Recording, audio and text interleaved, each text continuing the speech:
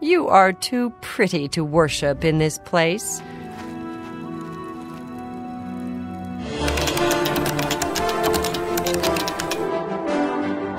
The Elder Scrolls IV Oblivion, developed by Bethesda Game Studios and published by 2K Games in March of 2006. And just looking at this box for the PC version, it's clear that Bethesda was keen on correcting the weaker aspects of its predecessor Morrowind, boasting about fully voiced NPCs, an improved combat system, Havok physics, and a streamlined user interface. It was also the first time an Elder Scrolls game launched with a console port from day one, with Oblivion on the Xbox 360 released alongside the PC version and a PlayStation 3 port arriving a year later, leading some to immediately write it off as, quote, a dumbed down console game. It didn't seem to stop the masses from snatching it up, though, quickly becoming the most successful Elder Scrolls game to date, selling over 3 million units by January of 2007 and moving over 9.5 million units by 2015.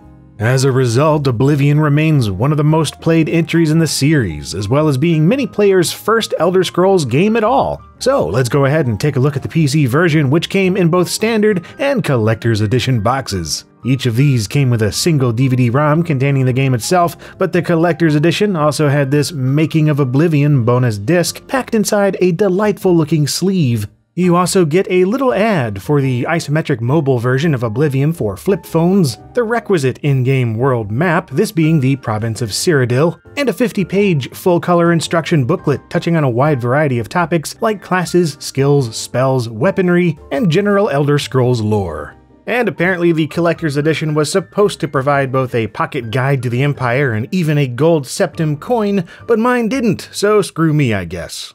Oh well, there's a tale to tell just as soon as you start the game, featuring the dulcet tones of Sir Patrick Stewart. This is the 27th of Last Seed, the year of Akatosh 433. These are the closing days of the Third Era and the final hours of my life. The story goes that while on routine patrol of the Romulan neutral zone, the Enterprise encounters a scout ship seeking a. Wait, wait. Uh, wrong Patrick Stewart game. Uh, here we go. it's about six years after the events of the Elder Scrolls Morrowind, and Emperor Uriel Septim VII is freaking out about having seen the gates of Oblivion and is convinced he's gonna die soon. His three sons have been assassinated, and it's clear that he's next on the agenda, so he and his Imperial bodyguards, known as the Blades, are fleeing Cyrodiil because crap sucks. And so your story begins at the main menu, where you start a new game and create a character. In classic Elder Scrolls fashion, this begins with you as an imprisoned nobody, a blank slate ready to be molded into whatever weird shape you desire. After you choose your name, gender, race, skin tone, and other basic stuff, you can go into a ridiculously complicated character creation toolset and use dozens of sliders to manipulate every millimeter of your appearance. Oblivion became infamous for its uncanny, weirdly proportioned, pudding faced characters, and it's easy to see why using these tools. Just embrace it, I say, and go with the most ridiculous head you can come up with. After this, you're greeted with a much prettier sight than your face the bleak stone walls of a prison cell. In keeping with Elder Scrolls tradition, this first area acts as the tutorial, although it's more direct in Oblivion than previous entries, with pop ups blasting walkthrough text at every other turn. In between ham fisted tutorial boxes, you get freed from your cell by Emperor Picard himself, who brings you along with his entourage of meatheads through the underbelly of Cyrodiil. Tutorial messages continue to berate you as you perform the elderest of scrollsy things like dispatching low level rats and scouring each room for weapons, armor, and loot. Along the way, you'll choose both your birth sign and your class, each affecting the skills and capabilities of your characters throughout the rest of the experience. Signs are pre-constructed, but as with previous Elder Scrolls games, the classes can be customized to your liking and named anything you deem clever. Suddenly, you witness the unavoidable death of Professor Emperor Patrick Xavier Stewart Picard VII, who has apparently grown to trust you over the past five minutes and tasks you with protecting the irreplaceable Amulet of Kings. Once you reach the sewer exit, it's one last chance to adjust your stats, and then, oh yeah, it's that big Bethesda reveal moment, providing your first glimpse of a world of possibilities that lie in wait.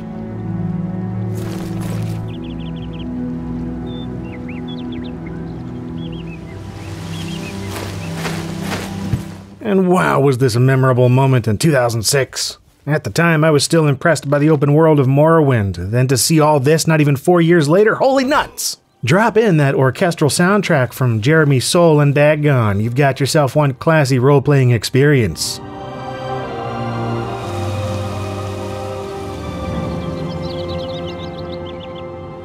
Granted, it ran like week old garbage on my PC in 06, but even at mid to low range settings, it was still the most gorgeous open world I'd ever seen. The Gamebryo engine has certainly had its detractors over the years, and rightfully so, with its penchant for instability and bizarre technical shortcuts that can result in legendarily glitchy gameplay, but you have to give it props for providing such lovely scenery, and breaking new ground with HDR lighting, specular mapping, and lush vegetation. Even though it absolutely killed my computer to do so, there was nothing like cranking the lighting, shadows, and grass settings to the max and admiring the flora and fauna. Just look at that grass. There's so much of it, and it wafts. Wafts, I say. Then there's another graphical aspect that has, in my opinion, aged poorly, and that is the intense bloom. Effects like this have dated games from the mid 2000s almost more than anything else. It just looks strange in retrospect, with its blown out colors and artificial looking glow around objects. Still, even going back to it now, it's no deal breaker since the gameplay of Oblivion remains pretty darned enjoyable. You're given a huge map to explore right from the beginning, and whether or not you choose to follow the main story path is entirely optional. If you want to immediately head underground and hunt for treasure, go right ahead.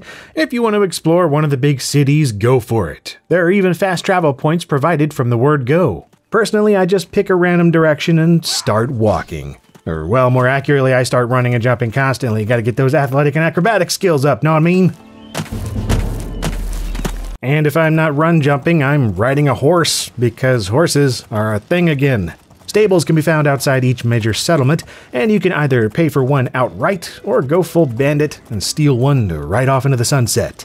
And it won't be long until something tries to kill both you and Mr. Ed, so it's a good thing Bethesda overhauled the combat system. Because, as much as I absolutely love Morrowind, I've never been tremendously fond of its combat. I mean, I understood it and accepted it, dice rolls and all that, but Oblivion was the first time with any Elder Scrolls game I just didn't think about what I was doing when killing stuff. Swinging axes, clubs, and swords into your enemies feels more intuitive now, like you're actually connecting with a body and not just flailing their general direction, hoping for a lucky hit. And ranged attacks in the form of bows and magic come across as more satisfying with predictable results right from the start. No need to level up a ton to dole out notable damage. Part of this has to do with Oblivion's dynamic level scaling, where enemy strength and damage dealt adjusts to your current abilities. So as you level up, each new enemy becomes stronger, with the idea being to provide a smoother difficulty curve and to keep combat challenging. But the strength of this system is also its weakness, and that is that no matter what, there's always a chance you'll get pummeled by some random encounter, even after you've become a battle hardened warrior capable of slaying the baddest demons around. But that's more of a late game balance problem, and it doesn't affect every playthrough in the same way. Besides, I'm more interested in sneaking into places and stealing all their stuff anyway, and thankfully that remains quite a good time indeed. I especially enjoy combining stealth and thievery skills with magic to crawl around nearly invisible and take advantage of every attack I can. Mmm, sneak damage multiplier. That never gets old. Still, gotta be careful though, since NPCs often jump at the chance to run and call for guards instead of fighting, which means. Stop right there, criminal scum! Nobody breaks the law on my watch! I'm confiscating your stolen goods. Now pay your fine, or it's off to jail. so here's another highly discussed point of contention the voice actors, or rather, the lack of them. It's not that the acting itself is bad, for the most part, it's actually quite good. And considering that this is the first Elder Scrolls to feature fully voiced dialogue for every NPC, it's impressive in sheer sense of scale. You've got Bethesda game staples like Wes Johnson, Michael Mack, and Elisabeth Noone, in addition to Hollywood actors like the aforementioned Patrick Stewart, as well as Lynda Carter and Sean Bean. Something has changed. Jauffre believes that the death of the Emperor and the darkening of the Dragonfires is the key. The issue arises from the fact that there are around 50,000 lines of dialogue that were only voiced by about a dozen people. So you ended up with tons of NPCs that sound identical, especially if they're the same race or character class. The repetition is bad enough that it's a meme to this day, yet, in a sense, I find it charming. It's like this whole world is an amusement park that spent most of its budget on set dressing, and the staff is just doing the best they can to act out a story with the limited resources on hand. Same goes for a large number of the dungeons. They really start to look confusingly similar and rather bland before long. There's nothing wrong with using a bunch of pre made components to build these things, and besides, apparently there was only one guy at Bethesda in charge of building all of them. But more often than not, in Oblivion, it's painfully obvious, which led to me ignoring most of the tertiary caves and dungeons in favor of those from the main story. And the story itself is, uh, it's an Elder Scrolls story. There are ancient prophecies and powerful objects and great beings and all that stuff, and I quite enjoy the world building and lore presented. But more often than not, I get distracted and find myself joining a cult or something. The usual guilds and their associated quest lines are here, and they're awesome. The Thieves Guild, the Mages Guild, the Fighters Guild, and the Stabby Guild, aka the Dark Brotherhood. Have to appreciate a group of people who enjoy nothing more than helping each other pull off the best murdering possible. You also deal with the Order of the Mythic Dawn in Oblivion, a Daedric cult that brought about this whole Oblivion crisis in the first place. In an act that had detrimental effects on the property values of Cyrodiil real estate, Oblivion gates have popped up all over the place like fiery zits on the face of Satan. Entering one of these gates teleports you to one of the many planes of Oblivion filled with Daedra and other nasty creatures hell bent on being evil and whatnot. Within each Oblivion gate, there's a towering central tower in the center, and tucked away up top is a powerful sigil stone. If you make it up there alive, then grab onto that sucker, watch as everything goes apocalyptic, and hooray, the gate is now closed. Hope you enjoyed that because they continue generating all over the map. Several of them are handcrafted realms pertinent to the story, but the rest are randomly generated and the fun runs out fast. As a result, it's an unfortunate fact that my least favorite part of Oblivion is, well, Oblivion. Thankfully, you can ignore most of them if you want to, and enjoy the freedom to play the role of your choosing. This includes buying houses again, with several domestic dwellings available for purchase and multiple locales, each of which can be decorated. Up to a point, anyway. You can't place individual items wherever you'd like, instead, relying on merchants that offer preset furniture and decor. Yeah, seems like a good time to talk about the bartering and speech systems, which are largely affected by associated skills and haggling percentages, in addition to your relationship with each given individual. And eh, I've never been too enamored with this mini game, but once you get used to it, it's whatever. Beyond straight up bribery, there are four possible methods of NPC persuasion joke, admire, boast, and coerce. All four must be attempted each round of persuasion, and each NPC will respond differently. This can be swayed by charm spells and speechcraft, but I still find it a chore, especially since there are some characters that require a high relationship to proceed to their next quest. You know, Oblivion is a fascinating example of a game that feels like it has one foot in the future and another firmly in the past, like a college freshman at a bar making a concerted yet clumsy effort to come across his legal age. And considering Oblivion released at the dawn of a new generation in gaming, this only makes sense. The mid 2000s were a transitory time for role playing games, where expertly crafted but technically complicated CRPG series of old were being updated with flashier graphics, big name voice acting, and vast open worlds. So some changes were to be expected. Comprehensive NPC voice acting resulted in a decreased number of written lines for each character, an interface tailored for game controllers and lower res TVs meant less info on screen at once and increased menu navigation to find what you desired. And the addition of quest markers on your compass and hot linked points of interest in your journal made navigation a breeze at the expense of some sense of explorative mystery. While these changes may have bothered some hardcore purists, the fact is it made Oblivion the most broadly accessible Elder Scrolls thus far. It remains one of the most captivating RPGs of its generation and handily outsold its predecessors, so it's no surprise it got several expansions and re releases over the years, though the first re release wasn't exactly due to popular demand. In May of 2006, the Entertainment Software Rating Board increased the rating of Oblivion from teen, ages 13 plus, to mature, ages 17 and up. The reasoning behind this was somewhat similar to the 2005 re rating of Grand Theft Auto San Andreas, where locked assets had been found on the disc that allowed for undisclosed sexual content to be accessed in game. Granted, this can only be done with third party modding tools on the PC version, but it resulted in unsold inventory being relabeled, marketing being pulled and republished with the new rating, and a reissuing of Oblivion with a mature rating printed on the packaging. And yes, this included the 360 version too, even though the content wasn't accessible on that platform.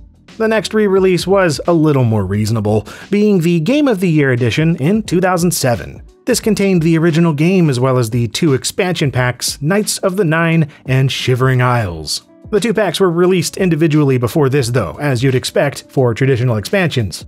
While these didn't alter the gameplay very much, they were still substantial in terms of new quests and items.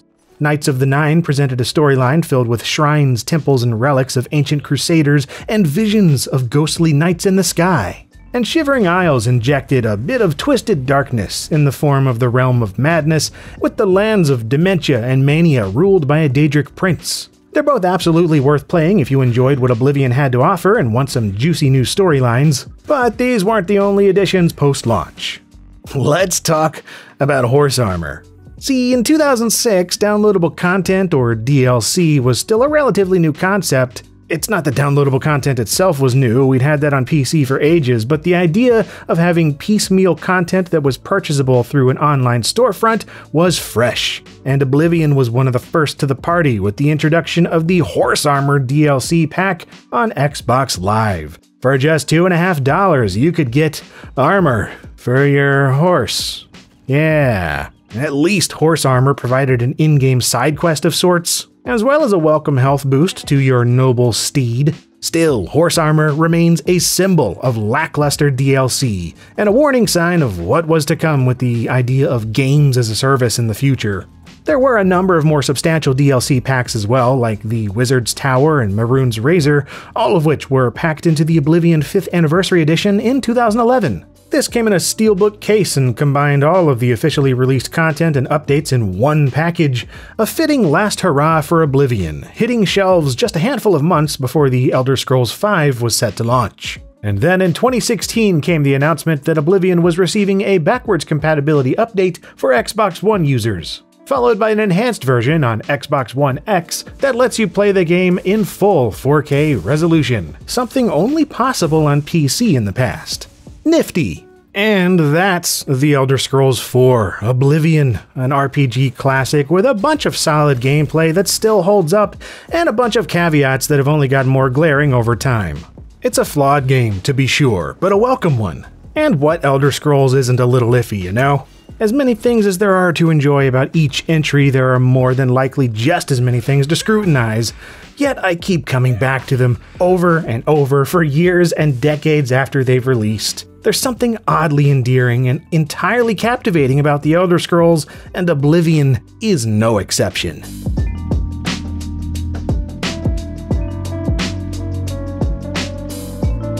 Stop right there, criminal scum! Did you enjoy this retrospective? If you did, then check out my others. I've done a bunch over the years, and there are new videos of all kinds every week right here on this very channel. And as always, thank you very much for watching LGR.